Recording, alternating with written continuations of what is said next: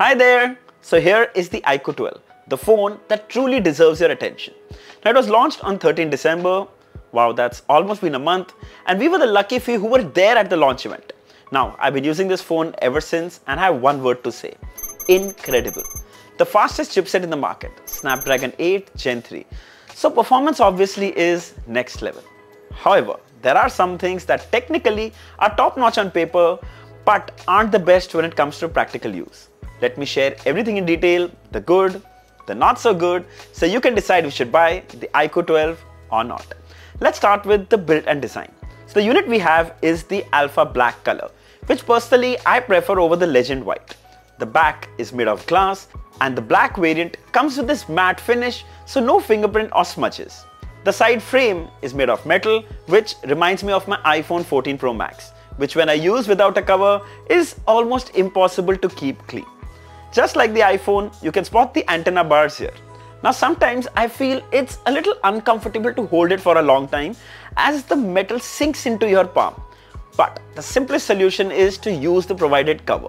In fact, you won't have to worry about fingerprints either. Of course, you can get amazing third-party covers as well, but the provided cover too is of really good quality. Also, I must add that the iQOO 12 is one of the most premium phones I've held in a while. Just 8.1 mm thin and weighs under 200 grams, 195 to be precise. Triple camera setup, 50 megapixel primary, 64 megapixel periscope and 50 megapixel ultra wide.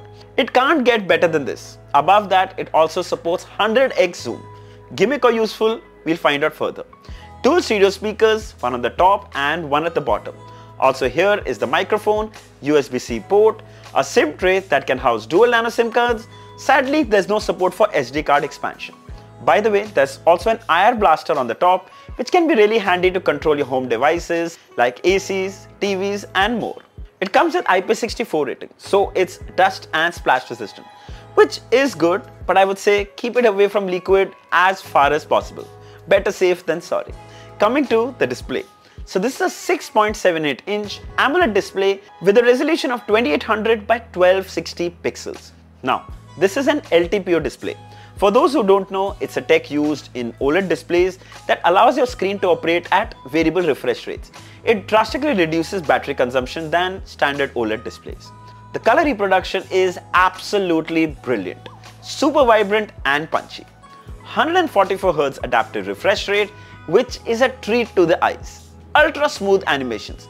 Trust me, even after a month of use, haven't noticed any lag or drop frames ever. Absolutely amazing. Now iQOO claims 1800 nits of peak brightness and yes, it shows. Even under direct sunlight, the display is clearly visible. Right on the top is the punch hole housing the 16 megapixel selfie camera. In-display fingerprint scanner on the iQOO 12, it's quite fast and very responsive. As always, I wish it was placed a little higher. I think that's been my pet peeve all 2023 a tad higher would have been more ergonomic for use. Especially when you're unlocking with one hand, ऐसा लगता है phone अभी हाथ से गिर जाएगा. But anyway, maybe that's just me. Then watching movies and TV shows is a delight on the iQOO 12.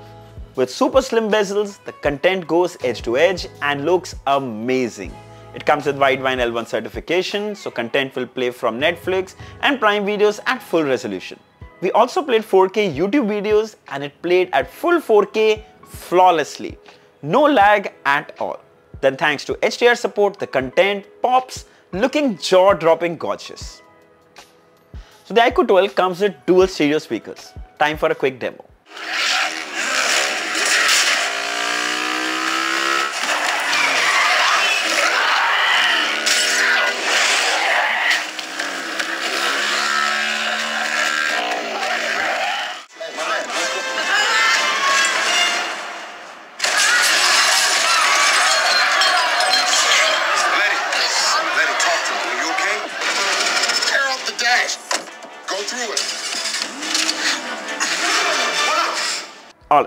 Firstly, it's loud.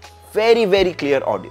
Trust me, very rarely do we find phones where the audio sounds so good. And with these dual stereo speakers, action scenes become so much more immersive.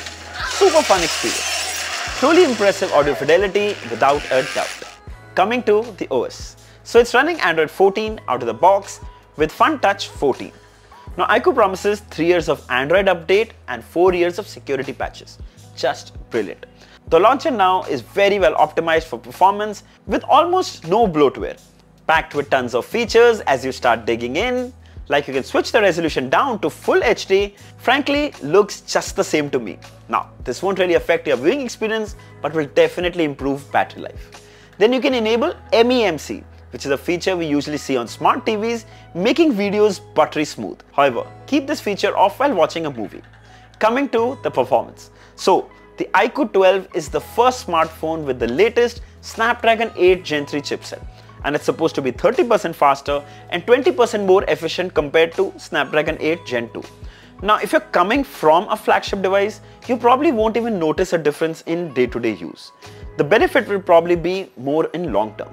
But as they say in Mumbai, ekdam tagdi performance hai. You can't get better than this. The variant we have came with 16GB LPDDR5X RAM. Yes, you heard me right. 16GB RAM. And that's the RAM I have on my laptop where I edit professional 4K videos. And of course, virtual RAM support of 16GB giving you 32GB RAM. Kuch bhi! Kuch bhi! I mean, it sounds unbelievable, but it's true. So, launching apps and multitasking are something which will be almost instant. In fact, all my recently used apps are still in memory thanks to that abundance of memory. When it comes to benchmarks, we knew it would break all records, but I was just gobsmacked. Antutu scored a whopping 21 lakh 70,000. I mean, we can't even fathom such numbers for Antutu scores. 512 GB storage with storage type 4.0 and we ran the test for that as well and we got 3714 MB read and 3312 MB write. I told you crazy numbers. CPU stress test is overall all green and even after being so powerful, there was barely any throttling observed. Super. Then we also played BGMI and what an amazing experience it was. I mean, it's exactly how you would expect from a flagship phone. Lag is probably an unknown word in this universe. It just flows. Played at 90 FPS without any hiccups Oh, by the way, don't forget to enable the very loved Monster Mode, taking the experience to the next level. If gaming is your thing, the iQOO 12 is probably the best bet for you. Coming to the battery. So it comes with a 5000 mAh battery that would easily last me a full day and sometimes I had 20 to 30% remaining and that too with 144 Hz refresh rate. So that's amazing. But I couldn't stop there. You also get a 120 watt charger in the box that charges the phone from 0 to 100 in under 20 minutes. Frankly, I have never charged this phone for more than 10 or 12 minutes considering the battery was never zero. Also, iQOO claims 80% battery capacity even after 1600 charge cycles. If you charge your phone every day and my math is correct, 1600 cycles is more than 4 years. I mean, or kya chahiye aapko? But now, let's come to the most important part of a smartphone, the camera. So three rear cameras and all are solid ones. Here are some shots taken with the rear 50 megapixel camera. I must say, iQOO makes sure that each snap is just perfect. The colors look absolutely stunning. It nails everything to perfection. Here are some taken at night. I mean, you all know how hard it is to get night shots. And trust me, these are all taken handheld. Check out the clarity and the detail they capture. They'll surely make your jaw drop. Then thanks to the 64 megapixel periscope, you can shoot 3x optical magnification with up to 10x lossless zoom. Now here are some shots taken at 100x zoom.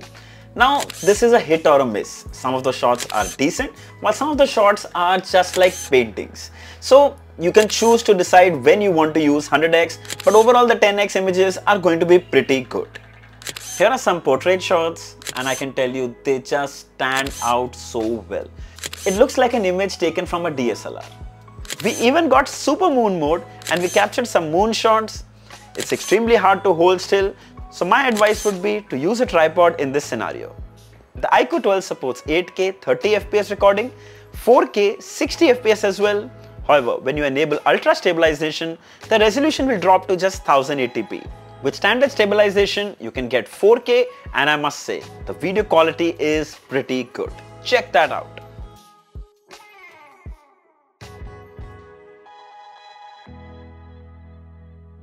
Now here are some images taken with the 16 megapixel selfie camera, really wide angle, amazing skin tones. They are just perfect images for selfies. Check that out. Hi there. So here's a video recording from the front camera of the iQOO 12. Now this is a full HD 30 fps video recorded handheld. Sadly and surprisingly there is no 4K video recording here, which is kind of surprising for a 50,000 rupee phone but the stability and the quality is really good. Also the audio that you're hearing right now is being recorded from the mics of the phone. Alright, final thoughts. So, iQOO goes full throttle with their 12 series. However, if I had to nitpick, I'm really surprised to see why the front camera doesn't support 4K video recording. I mean, that's something we're seeing in phones even cheaper than this. Might be a problem for some, but still, looking at the rest of the specs and the experience, I don't see that as a deal breaker. If you're looking for a flagship phone under 50,000, the iQOO 12 is probably the best you can get. I mean, there is nothing else in comparison. It takes everything that you need.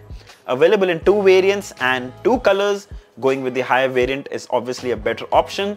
Still, make your pick. I'll share the links of all below in the description. If you'd like to buy one, this one is definitely worth checking out. So I hope this video was helpful. Don't forget to like, share and subscribe. Until next time, cheers.